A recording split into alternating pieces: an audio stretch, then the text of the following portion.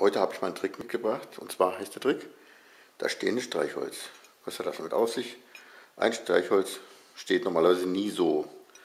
Es wird immer wieder hinstellen, umfallen und immer wieder umfallen. Was ist der Trick dabei? Ganz einfach. Ich mache meinen Finger ein bisschen feucht, mache so einen kleinen Zauberspruch, aber Macabre meinetwegen. Dann weicht das hier unten ein bisschen auf und schon kann ich das Streichholz genauso hinstellen.